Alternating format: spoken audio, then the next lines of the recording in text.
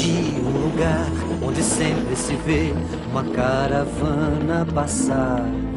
Vão cortar sua orelha pra mostrar pra você como é bárbaro o nosso lar. A noite dará e o dia também. É sempre tão quente, mas faz com que a gente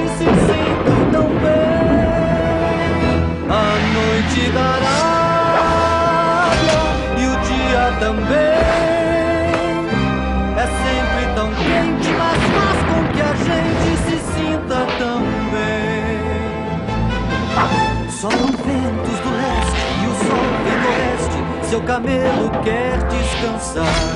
Pode vir e pular, no tapete voar, noite árabe vai chegar.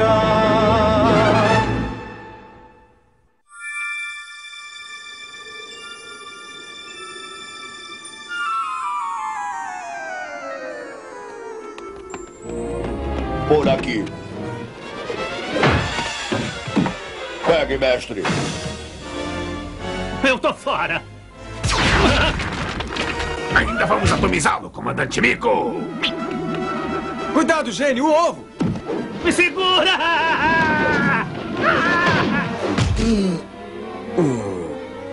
Eu venci a gravidade, Harus. Continue, gênio! Eu vou pegá-los de surpresa! Está bem, velocidade de dobra, comandante.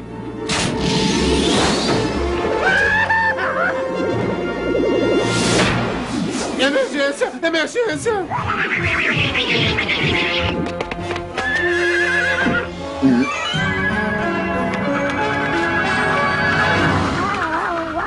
Harold, quando esse macaco parar de rodopiar, eu vou mandar chumbo. O último lá no outro lado, a mulher do padre. Mestre, não!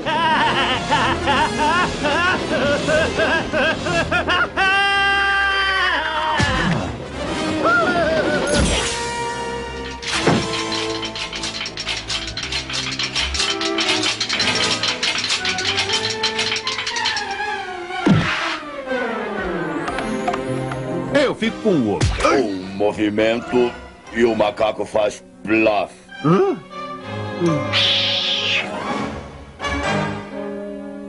Ah, sei. Ah, é? Pois eu acho que esse não é o som que os macacos fazem.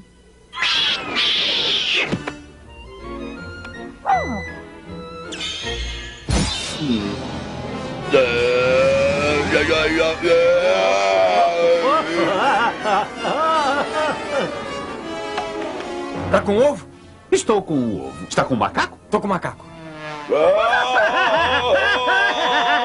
Tchauzinho, boa viagem. Não se esqueçam de escrever. Ah! Au!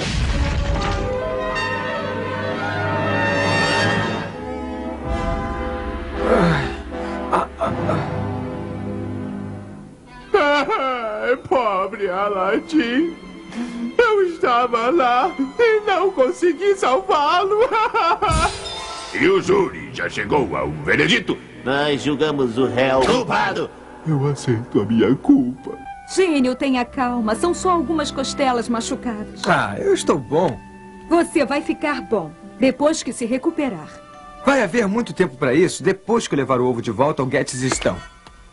Aladdin, você não está em condições para ir caçar um monstro. Não é um monstro, Jasmine. É um grifo. Mãe grifo. Só está zangada porque o Abismal roubou o filhote dela. Ele tem razão, princesa. Devemos devolver esse ovo pobre à mamãe grifo. Mesmo que ela, com raiva, possa cortar alguém em dois.